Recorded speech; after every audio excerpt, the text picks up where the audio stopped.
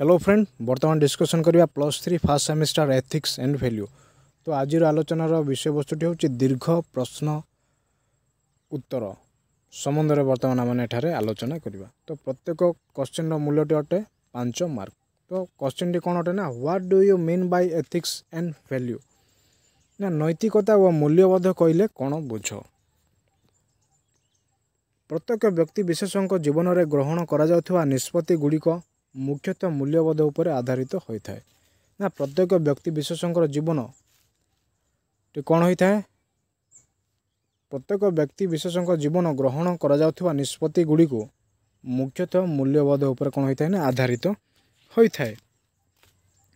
ମୂଲ୍ୟବୋଧ ସମୂହ ପ୍ରତିଟି ବ୍ୟକ୍ତି ବିଶେଷଙ୍କ ନିମନ୍ତେ ଗୁରୁତ୍ୱପୂର୍ଣ୍ଣ ହୋଇଥିବା ଯୋଗୁଁ ସେଗୁଡ଼ିକ ଜୀବନ ଓ ଅନ୍ୟ ବ୍ୟକ୍ତି ବିଶେଷଙ୍କ ପ୍ରତି ସେମାନଙ୍କ ସ୍ୱଭାବ ସାମଗ୍ରିକ ଆଚରଣକୁ ନିର୍ଦ୍ଦେଶିତ କରିଥାଏ।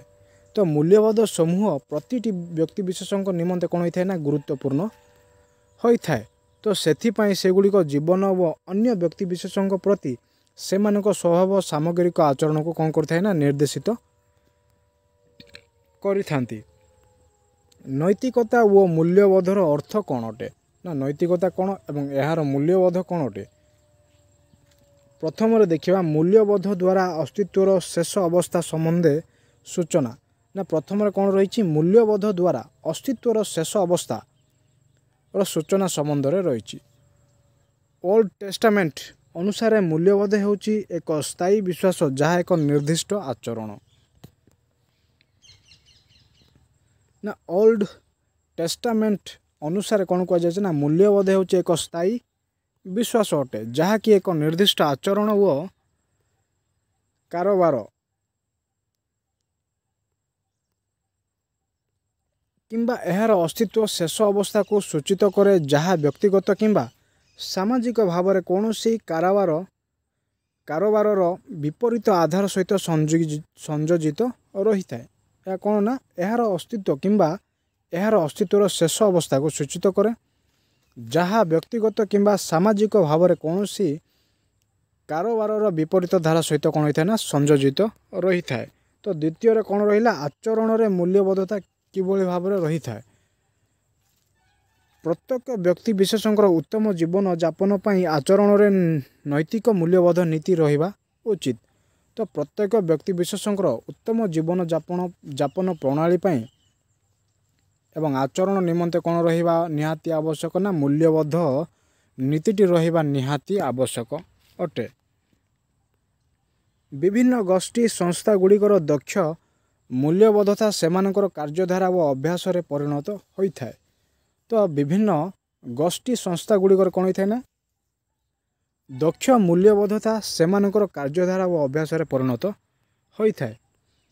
ତୃତୀୟରେ କ'ଣ ରହିଲା ନା ସମ୍ପର୍କ ଓ ବ୍ୟବହାରରେ ମୂଲ୍ୟବୋଧର ଆବଶ୍ୟକତା କିଭଳି ଭାବେ ରହିଛି ସେ ସମ୍ବନ୍ଧରେ ଏଠାରେ କୁହାଯାଇଛି। ବ୍ୟକ୍ତି ବ୍ୟକ୍ତି ବା ଗୋଷ୍ଠୀ ଗୋଷ୍ଠୀ ମଧ୍ୟରେ ସମ୍ପର୍କ ଓ ବ୍ୟବହାରରେ ମୂଲ୍ୟବୋଧ ରହିବା ବିଧେୟ ଅଟେ।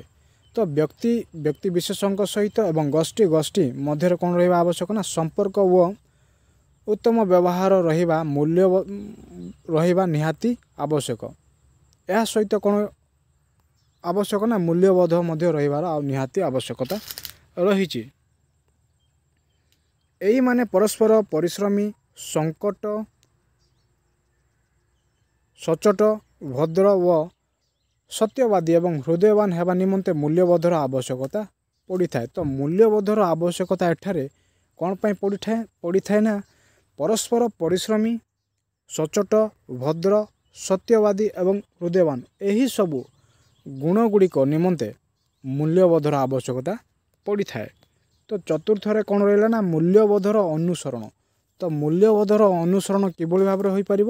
ନା ପ୍ରତ୍ୟେକ ବ୍ୟକ୍ତି ସମସ୍ୟାରେ ପଡ଼ିଥିବା ଅନ୍ୟ ବ୍ୟକ୍ତି ବିଶେଷଙ୍କୁ ସାହାଯ୍ୟ କରିବା ମୂଲ୍ୟବୋଧର ଅନୁସରଣ ଅଟେ। ତ ମୂଲ୍ୟବୋଧର ଅନୁସରଣ ମାନେ କାହାକୁ କହିବା ନା? ପ୍ରତ୍ୟେକ ବ୍ୟକ୍ତି।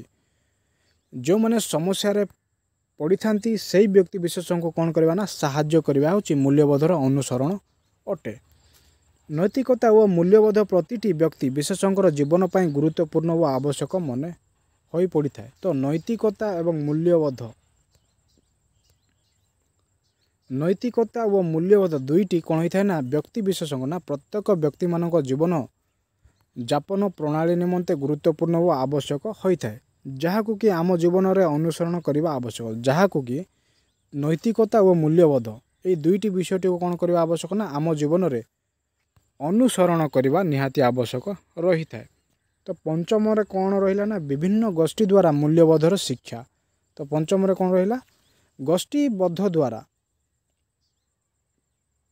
ମୂଲ୍ୟବୋଧର ଶିକ୍ଷା କିଭଳି ଭାବରେ ରହିବା ଉଚିତ ପରିବାର ଆଧ୍ୟାତ୍ମିକ ଗୁରୁ ଶିକ୍ଷାନୁଷ୍ଠାନ ଗୁଡ଼ିକରେ ଯେଉଁ ନୈତିକତାର ଶିକ୍ଷା ଦିଆଯାଇଥାଏ ତାହା ହିଁ ମୂଲ୍ୟବୋଧତା ମୂଲ୍ୟବୋଧତା ରୂପେ ବୃତ୍ତିଗତ ଦୁନିଆରେ ପ୍ରତିଫଳିତ ହୋଇଥାଏ ତ ମୂଲ୍ୟବୋଧର ଶିକ୍ଷା କିଭଳି ଭାବରେ ରହିଥାଏ ନା ପରିବାରର ଆଧ୍ୟାତ୍ମିକ ଗୁରୁ ଶିକ୍ଷାନୁଷ୍ଠାନ ଗୁଡ଼ିକରେ ଯେଉଁ ନୈତିକ ଶିକ୍ଷା ଦିଆଯାଏ ଶିକ୍ଷକମାନଙ୍କ ଦ୍ୱାରା ତାହା ହିଁ ମୂଲ୍ୟବୋଧତା ରୂପେ ବୃତ୍ତିଗତ ଦୁନିଆରେ ପ୍ରତିଫଳିତ ହୋଇଥାଏ। ମୂଲ୍ୟବୋଧ ଭିତ୍ତିକ ବ୍ୟବସାୟିକ ନିଷ୍ପତ୍ତି। ତ ମୂଲ୍ୟବୋଧ ଭିତ୍ତିକ ବ୍ୟବସାୟିକ ନିଷ୍ପତ୍ତି କିଭଳି ଭାବରେ ନେବା ଉଚିତ? ନା ମୂଲ୍ୟବୋଧ ଭିତ୍ତିକ ବ୍ୟବସାୟିକ ନିଷ୍ପତ୍ତି ଏବଂ ସମସ୍ତଙ୍କ ଦ୍ୱାରା ପାଳନ କରାଯାଉଥିବା ନୈତିକ ନିର୍ଦ୍ଦେଶାବଳୀ ସଫଳତା ମାନଦଣ୍ଡ ଅଟେ।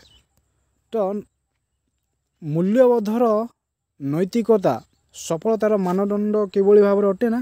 ମୂଲ୍ୟବୋଧ ଭିତ୍ତିକ ବ୍ୟବସାୟିକ ନିଷ୍ପତ୍ତି ଏବଂ ସମସ୍ତଙ୍କ ଦ୍ୱାରା ପାଳନ କରାଯାଉଥିବା ନୈତିକ ନିର୍ଦ୍ଦେଶାବଳୀଟି କ'ଣ ହୋଇଥାଏ ନା ସଫଳତା ଘଟିଥାଏ ବା ଏହା ହେଉଛି ଏହାର ମାନଦଣ୍ଡ ଅଟେ। ଯେଉଁମାନେ କମ୍ ମୂଲ୍ୟବୋଧ ଗ୍ରହଣ କରିବାକୁ ରାଜି ହୋଇଥାନ୍ତି ସେମାନେ ଅବଶିଷ୍ଟ ସମାଜ ଉପରେ ପ୍ରତିକୂଳ ପ୍ରଭାବ ପକାଇ ପାରିଥାନ୍ତି। ତ ଯେଉଁମାନେ କମ୍ ମୂଲ୍ୟବୋଧ ଗ୍ରହଣ କରିଥାନ୍ତି ତ ସେମାନଙ୍କ ଦ୍ୱାରା କ'ଣ ସବୁ ଘଟଣା ଘଟିଥାଏ ନା? ସେମାନେ ଅବଶିଷ୍ଟ ସମାଜରେ ତ ଅବଶିଷ୍ଟ ଯେଉଁ ବଳକା ସମାଜଟି ରହିଛି ତା ଉପରେ ସେମାନେ କ'ଣ କରିଥାନ୍ତି ନା ପ୍ରତିକୂଳ ପ୍ରଭାବଟି ପକାଇଥାନ୍ତି।